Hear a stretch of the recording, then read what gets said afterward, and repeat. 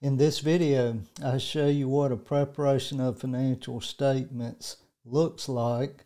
I know how you auditors are, how you accountants are. You love examples.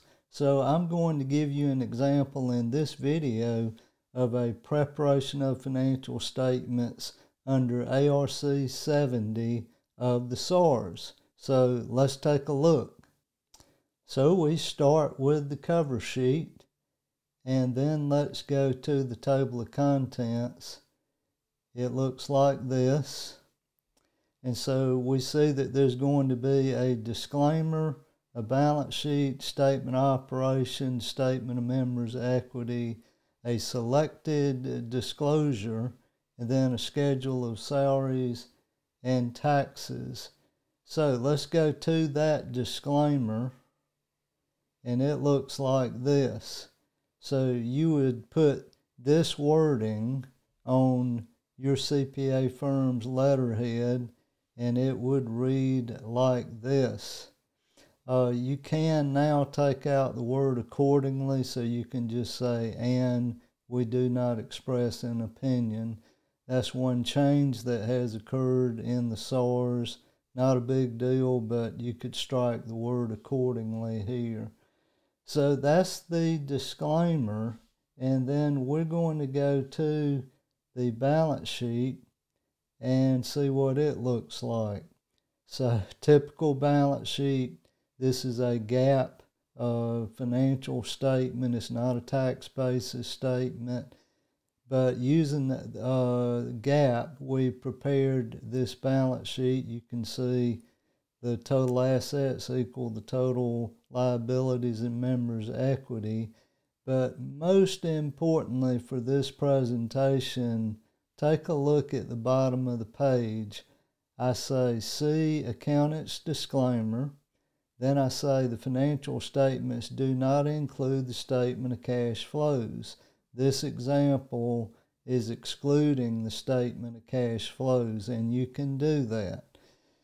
And then finally, I say substantially all disclosures re- required by accounting principles generally accepted in the United States are not included.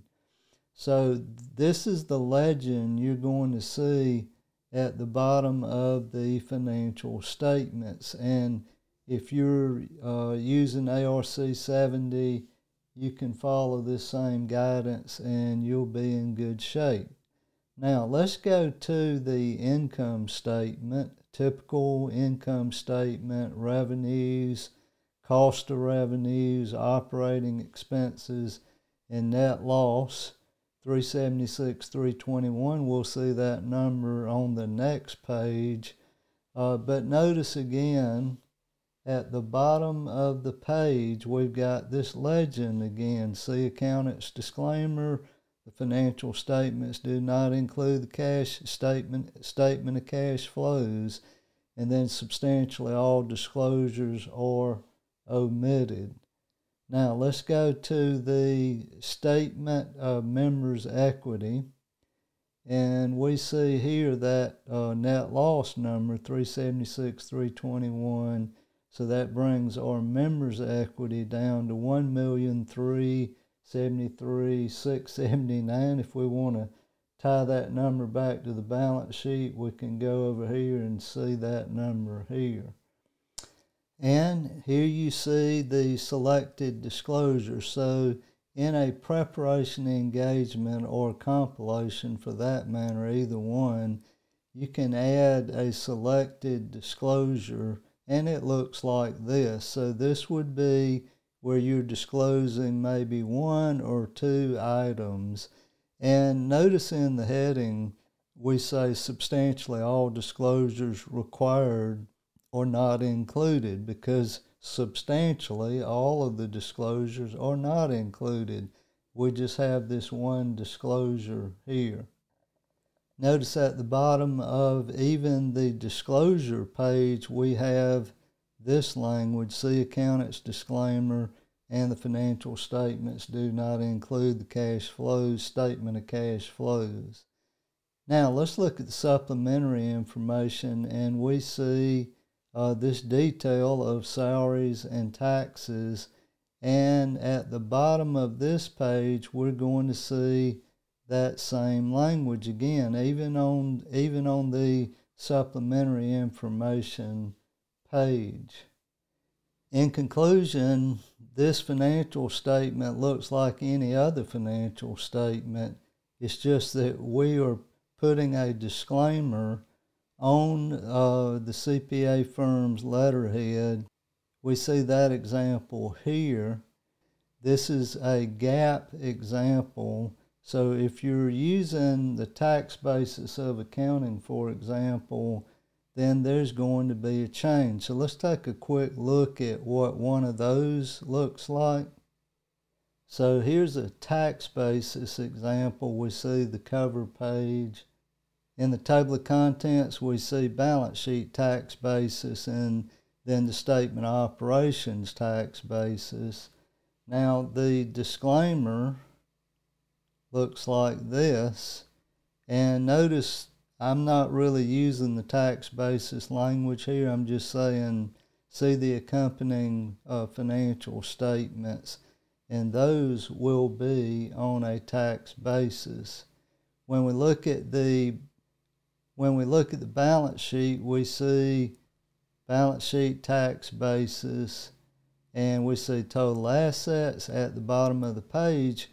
We have see accountant's disclaimer and then that other legend about substantially all disclosures being omitted. But notice in this instance, we say substantially all disclosures ordinarily included in financial statements prepared in accordance with the tax basis of accounting are not included. So we tweaked that language for the tax basis example. Here's the second page of the balance sheet, uh, and those numbers, the total, total liabilities and members' equity equals the total assets on the prior page. And there's that, so we're good there. And then there's the legend at the bottom of the page. And then we have a statement operations and members' equity tax basis so here we've got revenues, expenses, net income, and members' equity. In this example, I'm not including any disclosure, so I don't have a selected disclosure. Notice how simple this tax basis presentation is. You've got just the balance sheet, and then you have just the income statement and no disclosures, no supplementary information, no cash flow statement. So this is about as easy as it gets. And if you're preparing a tax return and you've already prepared those numbers for the 1120, why not just use the tax basis of accounting in creating the financial statements that you're going to give to your client? So that's how ARC 70 looks in a typical GAAP basis financial statement and a tax basis financial statement. It's really easy to issue statements with ARC 70 as you can see, especially on that tax basis presentation. There's just a balance sheet and an income statement, and then the page for the disclaimer, and you're done that's all you really have to do. And, and by the way, you, it could be even simpler where you had just the balance sheet. So you can do a single statement under ARC 70 if you would like. Then you'd have the disclaimer and then the one page, say the balance sheet, in that preparation engagement. If you haven't used ARC 70 before and you've got a client that comes in and needs financial statements really quick, this is a good option. You don't have to document your independence, so that will save you a step. You do need to have an engagement letter even for the preparation engagement, so keep that in mind when you're done with the preparation engagement, at a minimum, you need a copy of the financial statements and then the engagement letter. So I hope these examples help you as you do your financial statements in the future, uh, one last word you want to be very clear about what you are doing here. In other words, this is not an audit, it's not a review, it's not even a compilation. It's simply you're preparing the financial statements. So, hope that helps. Take care. Till next time, take care. Bye now.